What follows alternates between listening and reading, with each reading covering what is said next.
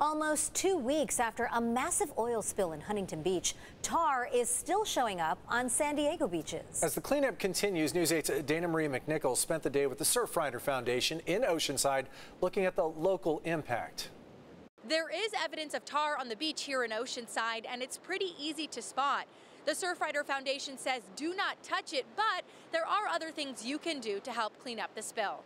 This is a great example of tar balls on the beach. As we can see right here, it's kind of looks like, I don't know, maybe rocks, maybe pieces of seaweed, but it is in fact tar. And you can even smell that. Authorities are testing oil found on San Diego beaches in connection to a pipeline leak out of Huntington Beach.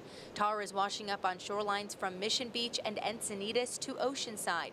Alex Farron is a volunteer with the Surfrider Foundation. The nonprofit fights to protect our oceans. A lot of people want to help, a lot of people want to help clean up, and the tar is very toxic. So we're trying to make sure the public knows that helping is not picking up the tar.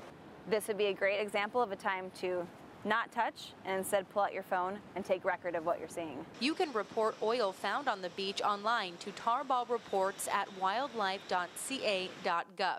If exposed, the CDC says skin can develop a rash or allergic reactions. And here's some more. So this is a little bit bigger, a little more put together. Um, before we saw kind of scattered pieces. The cause of the oil spill remains under investigation. Officials believe the pipeline was likely damaged by a ship's anchor.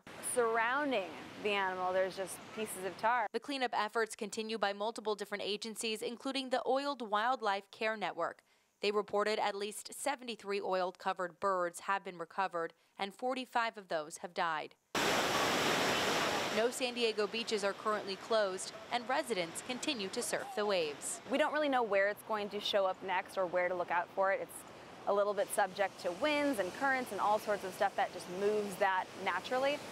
The Surfrider Foundation has a campaign right now called Where They Drill, They Spill. They're asking residents to reach out to their representatives to push for a renewable solution for energy.